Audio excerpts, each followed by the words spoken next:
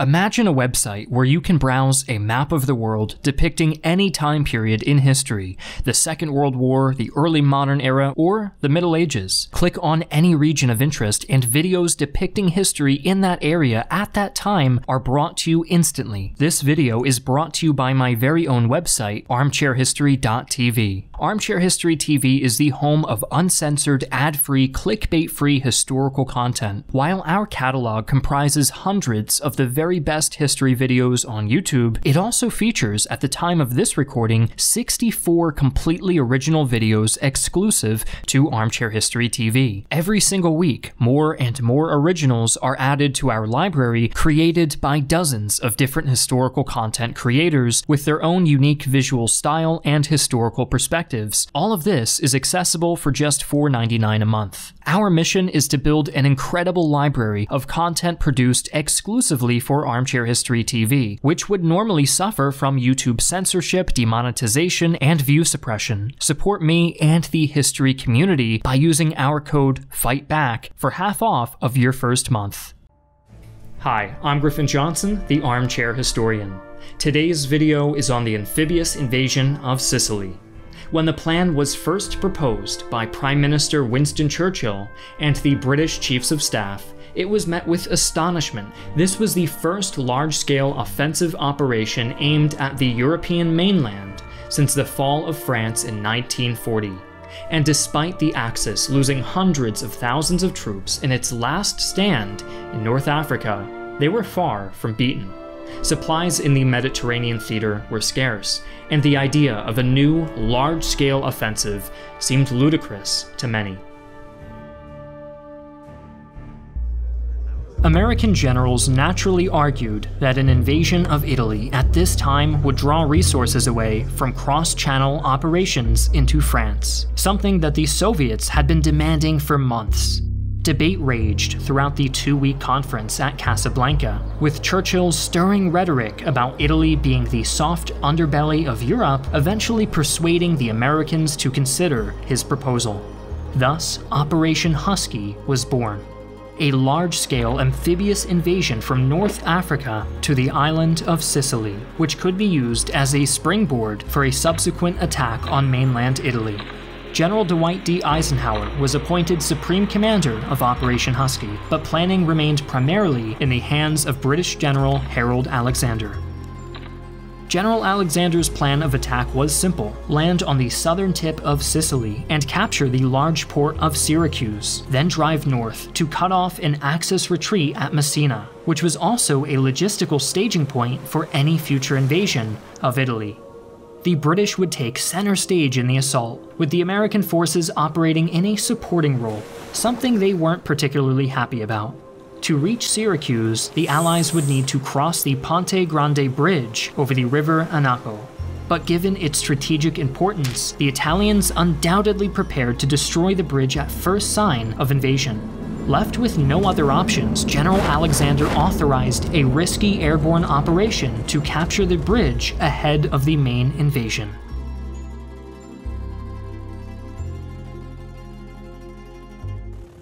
On the night of July 9, 1943, a large formation of gliders and transport planes entered Axis airspace over the Isle of Sicily but with winds gustling at over 45 miles or 72 kilometers an hour, the ambitious airborne assault quickly turned into a confused mess.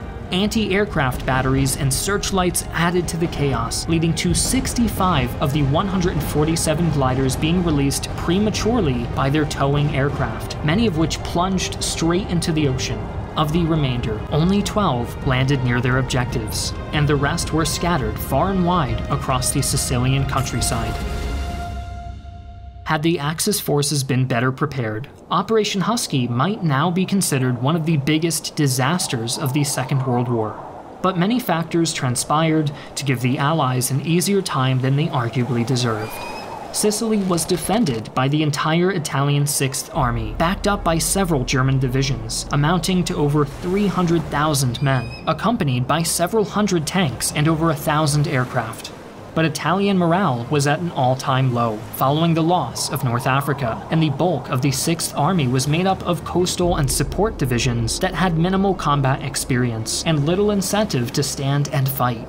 Furthermore, senior Italian General Alfredo Guzzoni and German Field Marshal Albert Kesselring were constantly at odds over every detail of the defense, Thanks to this bickering and the loss of North Africa, the remaining German soldiers in Sicily had grown to despise their Italian counterparts and now refused to coordinate with them. The tentative nature of the Axis hold on Sicily was plainly illustrated when a ragged group of 50 British paratroopers made their way to Ponte Grande Bridge after scrounging up a meager handful of supplies. With no expectations of success, the men fired off a few half hearted volleys at the entrenched defenders, only to watch in astonishment as the terrified Italians leapt from their bunkers and vanished into the night. Scenes like this were repeated across the island, with paratroopers causing havoc by cutting telephone wires, intercepting message couriers, and attacking isolated coastal batteries. As the next day dawned, a fleet of transport ships made a daring rush through high seas towards the Sicilian coastline. Lining their decks were the men of the US 7th Army under George Patton and the British 8th Army under Bernard Montgomery. Once again, the treacherous winds and natural obstacles such as offshore sandbars were as dangerous as enemy fire, with several landing ships running aground or finding themselves blown helplessly off course. However, as previously stated, enemy resistance was remarkably light, with no significant force awaiting the Allies on the beaches. With no tanks or mobile infantry divisions to contest the landings, the static defenses proved only temporary inconveniences. When the confused and dispirited Italian forces finally began to mobilize for a counterattack on the beachheads, they were easily repulsed by naval gunfire. With approximately 53,000 men put ashore in the first wave, the Allies began their advance inland. Although Ponte Grande Bridge had already been recaptured by the Italians, the paratroopers held it long enough to delay the Axis forces to destroy it, and Syracuse fell within a day. By the 12th, much of southern Sicily was in Allied hands. The Luftwaffe was being suppressed by strategic bombing raids, and many Allied officers were already preparing to celebrate a swift victory. But then, disaster almost struck when the British attempted a second major airborne operation to capture a bridge over the river Simeto, which blocked their northern advance towards the city of Catania. While the initial attack was successful, the bridge was deep behind enemy lines, and the isolated paratroopers had to hold out for three whole days before ground units could relieve them. Even after the bridge was secured, fierce Italian resistance stalled the advance into the northern half of the island for another week. Sicily would not be an easy victory after all. With delays mounting, friction developed between the two halves of the invasion force. The American 7th Army had been intended to provide support from the flanks, but was otherwise expected to hang back while the British 8th Army did most of the fighting. To say this situation was not to General Patton's liking would be a vast understatement, so he began badgering General Alexander for permission to break out to the western side of the island. Unable to endure Patton's pestering, Alexander reluctantly mumbled that Patton could conduct a limited reconnaissance mission. Naturally, Patton interpreted this as permission to charge the entire 7th Army west at breakneck speed, leaving Montgomery to continue trudging north in the face of increasingly stiff enemy resistance. While Patton was busy crushing the remnants of the Italian army stationed in western Sicily, Field Marshal Kesselring was preparing his final defensive line in the mountainous terrain south of Messina. This was known as the Etna Line, as it included the giant volcano Mount Etna as one of its key defensive components. Both sides knew that whoever controlled the mountain slopes could decide the course of the battle, and fighting in the area was intense. Montgomery planned to capture the town of Adrano, which linked the two halves of the Etna line together around the base of the volcano. But Adrano was still well behind enemy lines, and to get there, the Allies had to battle their way through some of the harshest terrain since the deserts of North Africa. The first major clash on the road to Mount Etna occurred at the town of Centuripe, situated atop a line of extremely steep hills that gave a commanding view of the surrounding countryside and provided a nearly impregnable defensive position for the elite German Fallschirmjäger or paratrooper regiment stationed there.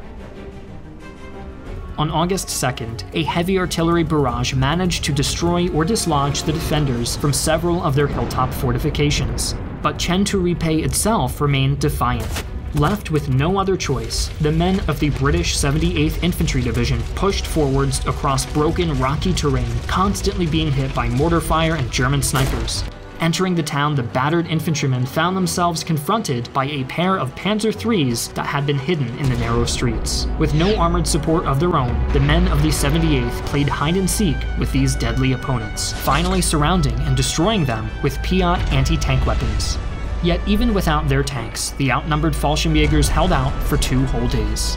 As the British were sweating up the steep hills around Centuripe, General Patton had finished rolling up the western half of Sicily and was now assaulting the town of Troina, which was also part of the Etna line. Once again, the extreme terrain made for a difficult advance, with extensive minefields making the unsteady ground even more treacherous. To Patton's great annoyance, his forces were unable to achieve any easy breakthroughs and had to settle into an arduous routine of slowly prying the enemy off their fortified hilltops one by one.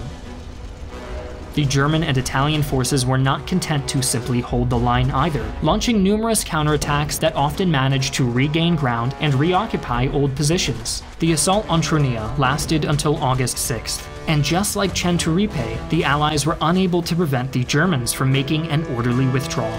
That same day, Adrano was occupied by the 78th Division, and just like that, the Etna line was finally broken, and the end of the campaign was in sight. In fact, Axis forces were already in the process of evacuating from Sicily. Kesselring was under no illusions about his chances of holding the island for much longer, and had little reason to stand and fight after the loss of Catania and its airfields on the 5th. Beginning on August 11th, a massive fleet of transport ships assembled at the port of Messina, right at the northern tip of Sicily. With rearguard units delaying the Allied advance, more than 100,000 German and Italian soldiers were able to cross the Straits of Messina and escape into Italy. Despite the fierce fighting, the battle for Sicily had been a remarkably bloodless affair. Of the nearly 500,000 Allied soldiers involved, only 1% were killed in action. The Germans lost about 26,000 men, with 10,000 taken captive and the rest killed or wounded. Almost the entire Italian Sixth Army surrendered, and 100,000 men became prisoners of war. The invasion also convinced Italy's Grand Council of Fascism to capitulate, and by the middle of July they voted Mussolini out of power and began seeking terms of surrender. For an instant, it seemed as if Churchill had been correct, and the soft underbelly of Europe was about to be laid open with a single decisive strike. But instead, the Allies had unknowingly committed themselves to an agonizing slog up the Italian peninsula, where thousands of lives would be wasted in pursuit of a quick victory that would never materialize. Join us next time when we take a look at this final campaign in Italy, which lasted right up until the final Axis surrender in May of 1945.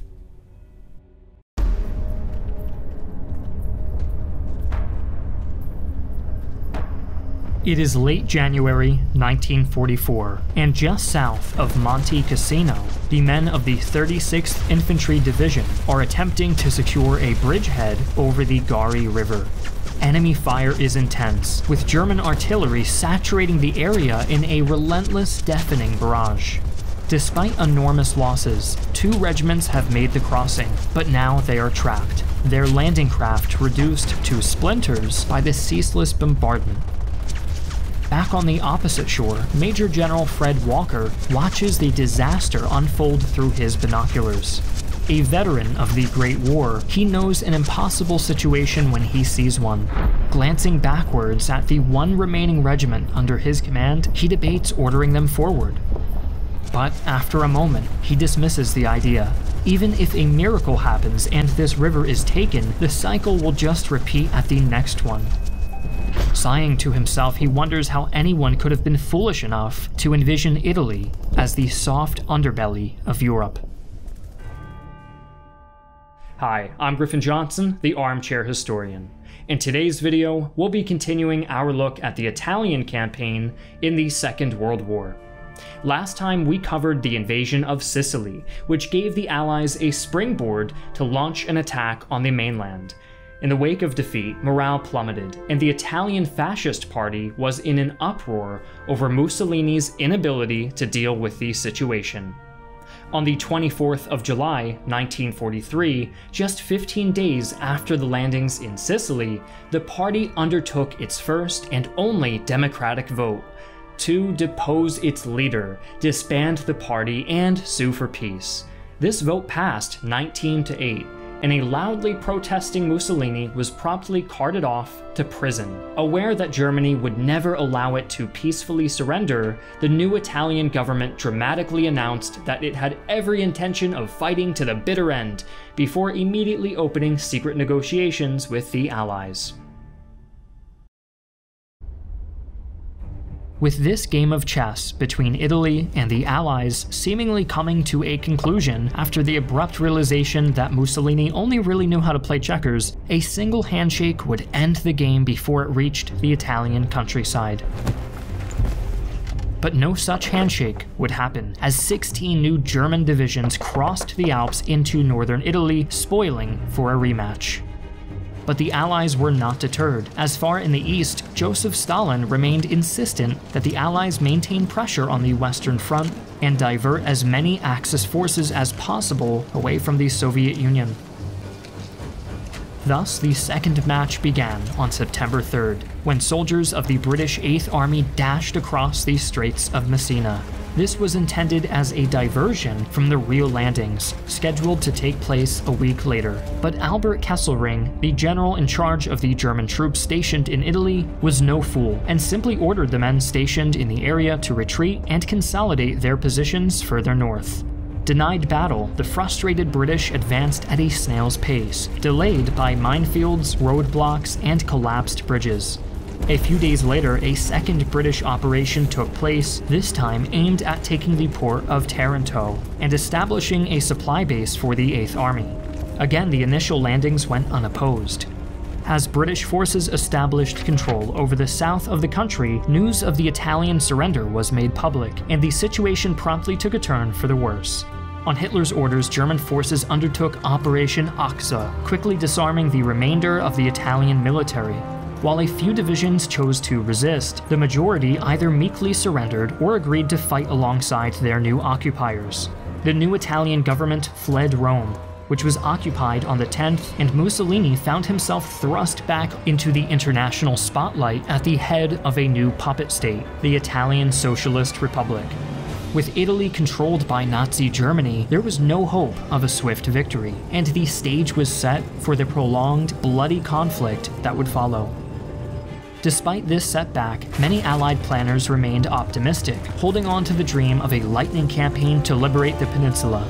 The minimal resistance encountered by the British led to the belief that the Germans were still preoccupied dealing with the Italian army, and lack either the will or the manpower to defend territory south of Rome.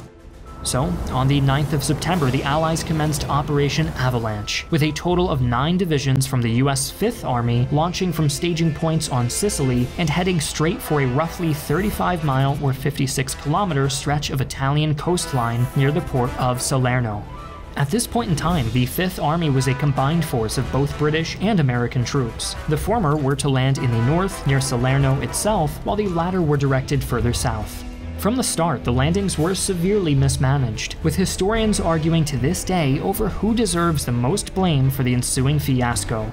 Despite strenuous protests from the leader of the Naval Task Force, Admiral Kent Hewitt, the American landing zones were not subjected to a preliminary bombardment. This was due to the mistaken assumption that the operation had the element of surprise, despite sightings of Luftwaffe reconnaissance planes over the task force as it crossed from Sicily. Predictably, Kesselring had guessed the American plan of action and positioned his troops to contest the landings. Left with no alternative, the men of the 5th Army waded ashore under intense bombardment from machine guns, field artillery, and panzers. The beaches quickly turned into a slaughterhouse, and for a brief moment the fate of the entire campaign hung in the balance. Then, the guns of the Naval Task Force finally opened up, blasting gaps in the temporary German fortifications and opening the way for the beleaguered troops to rush through and establish a beachhead. But this was by no means an end to the carnage, as the entire 16th Panzer Division then thundered down from the hills to continue the onslaught. During the frantic fighting that ensued, naval gunfire again proved decisive, with the cruiser and destroyer escorts engaging a minimum of 130 shore-bound targets during the first day alone. Further north, the British divisions had faced somewhat lighter resistance and had only gone ashore after their escort ships had spent 15 minutes softening up the German defenses. After pushing inland, they were able to capture a vital airfield, and a force of SAS commandos and US Army Rangers entered Salerno itself and drove out the defenders after a brief bout of street fighting. But the situation was still dire, and German counterattacks were relentless. The Luftwaffe also conducted many sorties against both the beachheads and the Naval Task Force, sinking approximately 100 landing craft of various sizes and damaging various warships. After another six days, Kesselring was forced to retreat on direct orders from High Command. Hitler had conferred with Erwin Rommel, and both men had agreed it was pointless to try and defend southern Italy although they had very nearly succeeded in throwing the Fifth Army back into the sea, German losses had been heavy, especially among the precious panzer divisions. But these losses were not crippling, and the rough Italian countryside presented many opportunities for the Germans to make life hell for the Allies as they pushed up the peninsula. Having been battered almost to the point of breaking, the weary men of the Fifth Army were reluctant to drive north after their retreating enemies. Morale was extremely low, and as a result, the decision was made to delay the push on Rome until October. In the meantime, Allied forces concentrated on consolidating their hold on southern Italy and capturing the airfields located on the Campanian Plains. While this was ongoing, the civilian population of Naples rose in an unexpected revolt, creating enough chaos for the Allies to force a German retreat from the area. On October 3rd, the SAS conducted a daring amphibious assault on the city of Termoli, part of the first defensive line south of Rome. This was known as the Volturno Line and ran parallel to two large rivers. The raid was a remarkable success, with the commando team seizing the city and holding it until being reinforced by the Commonwealth 8th Army.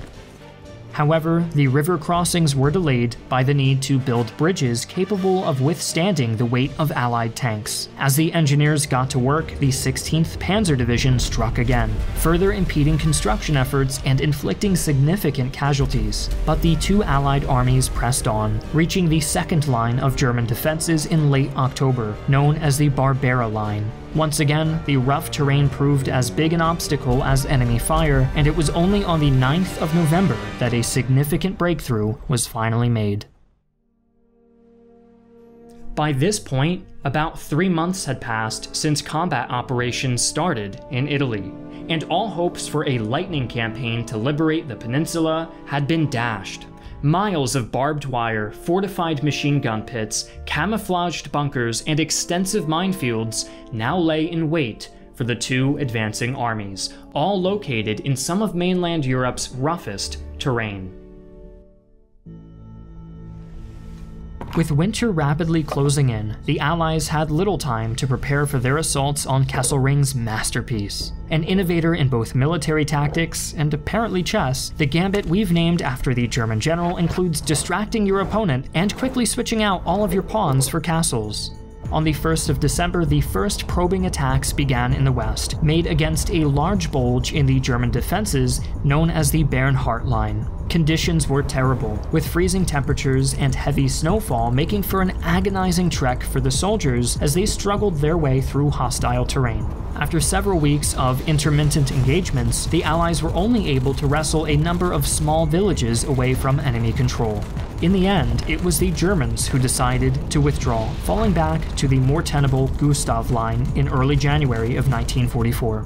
While the 5th Army was busy dying in the snow, the 8th Army also found itself preoccupied with, well, dying in the snow. The 8th had attacked the Gustav Line on the 4th of December and made significant headway, but then the Germans made a strategic withdrawal through a deep gully, which funneled the Commonwealth forces into a carefully prepared killing ground. Any unit entering the gully was brutally mauled, and Allied progress was completely stalled until German forces withdrew to a new position on the 20th. The next set of battles for the Gustav Line took place at the towns of Ortona and Orsogna, the former proved an absolute nightmare for the Canadian units assigned to capture it, as they were forced to engage in some of the bloodiest street fighting on the Western Front. The German parachute battalion defending the town had dug in deep and had to be fought from building to building in a protracted struggle that resulted in roughly 4,500 casualties altogether, decimating both the 1st Canadian Division as well as the civilian population. Orsogna, meanwhile, resisted every attack, holding out until a massive blizzard struck the Adriatic coastline and forced the British to halt their offensive. But even this could not end the bloodshed for long, and on January 14th, the two Allied armies launched yet another series of attacks on the line, starting the notorious battle for Monte Cassino. The first assault was conducted by the British and resulted in little more than three days of pointless slaughter. Two more attacks failed due to either terrain or a lack of armored support, and a fourth ended with minor gains that were promptly abandoned due to the lack of supplies. After these repeated failures, the Allies authorized Operation Avenger, which fixated on the Monte Cassino Abbey as the linchpin of German defenses in the area. On February 15th, a huge bomber raid reduced the abbey to a smoldering pile of rubble. Unfortunately, the raid was badly coordinated and was not followed up by a ground assault, so in the end, little was accomplished. While this was ongoing, the Allies had also conducted a naval landing near the city of Anzio to outflank the Gustav Line. But after landing relatively unopposed, General John P. Lucas made the inexplicable decision to dig in and fortify his position rather than push inland. Kesselring promptly wheeled his reserves about and smashed into the beachhead, beginning a long battle of attrition that would last until May. Meanwhile, the third battle for Cassino began on March 15th, with a creeping barrage that disordered the German line. But this ray of hope was quickly snuffed out by heavy rains, giving the Germans time to prepare. However, by now it was clear that the Axis was losing the battle of attrition, and the final breakthrough came on May 11th, when both the 8th and 5th armies attacked at once, aided by the French Expeditionary Corps and even some Polish forces. This last tremendous push finally fractured the Gustav Line, which held for nearly six months. But although the main line of Axis defenses had been breached, there was still much to be done, and the push north continued. A breakout was also staged at Anzio with the help of an artillery bombardment and close air support. In danger of becoming encircled, Kesselring received orders to fall back. But right at the pivotal moment, General Mark Clark decided to ignore orders to pursue the German army and instead drove towards Rome. Unable to believe his luck, a delighted Kesselring quickly pulled back to yet another set of defensive works, codenamed the Gothic Line. After so much blood had been shed, the actual capture of Rome was something of an anticlimax. With German attention turning towards the inevitable invasion of France, the city had all but been abandoned. After a few brief skirmishes, Rome was liberated on June 4th, just two days prior to the landings in Normandy. Getting there had required 600,000 Allied troops, over 100,000 of which had become casualties since the day they first landed in Italy.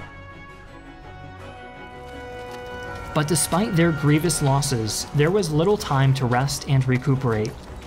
Kesselring had proven a genius at defensive warfare, and leaving him to his own devices would undoubtedly prove disastrous. Thus, British and American armies raced up the coast only to be checked yet again at the improvised Trasimene line encountered on June 20th.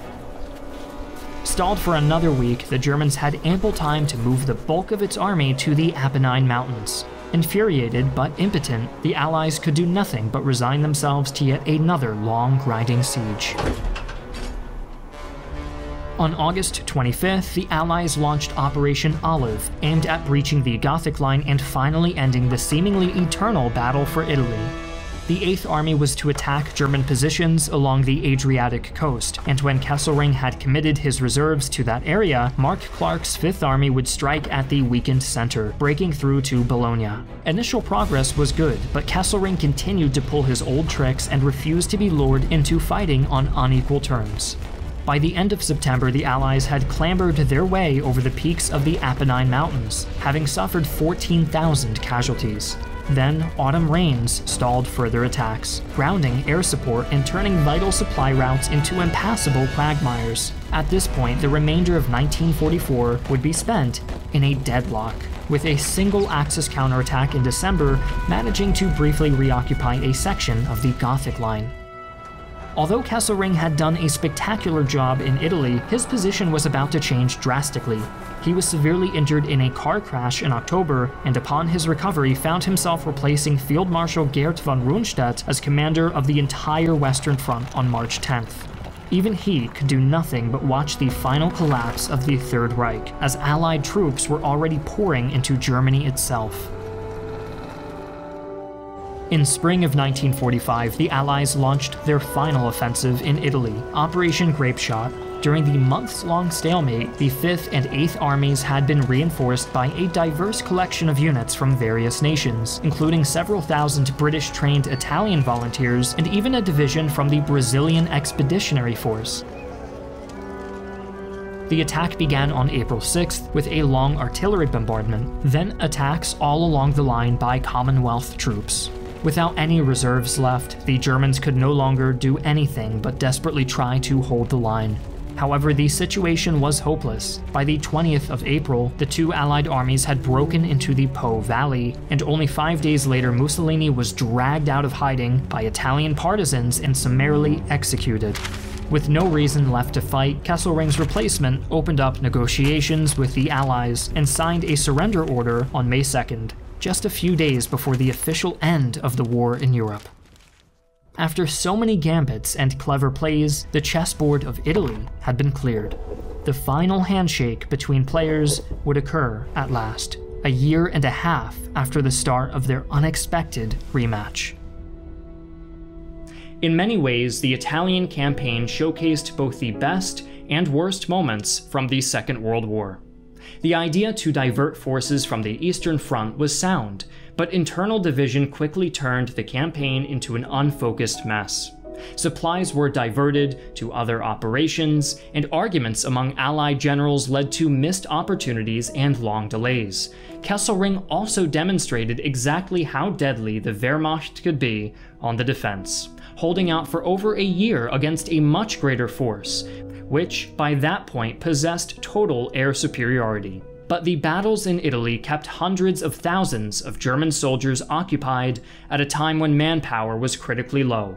And the experience gained from the amphibious landings at Salerno proved invaluable to the planners of D Day. Still, historians remain divided on the campaign, with many arguing that it was an outright strategic failure. But others see it as part of a bigger picture, a necessary, even vital component to the fall of the Axis powers and the liberation of Europe.